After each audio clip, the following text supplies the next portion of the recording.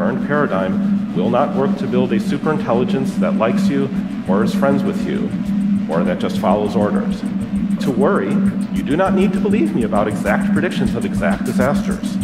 You just need to expect that things are not going to work great on the first really serious, really critical try because an AI system smart enough to be truly dangerous was meaningfully different from AI systems stupider than that. Fantoccini had perfected the first humanoid mini-circuited, rechargeable AC/DC Mark V electrical grandmother. Computerized to tutor in 12 languages simultaneously. Capable of switching tongues in a thousandth of a second.